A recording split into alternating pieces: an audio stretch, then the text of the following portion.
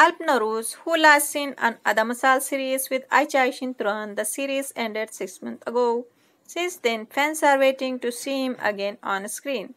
His new project was announced, a TV series Cennetin Çocukları, Children of Heaven, which will meet with the audience on TRT1. Starring Ayça Bingöl, Alp Navruz, İrem Helvacıoğlu, and Mesut Akusta in the lead roles, the series, which was adapted from the book of Atike Hinchiller's Hard End book. The shooting date of series has been announced.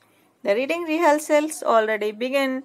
From the first week of October, shooting of the series will begin.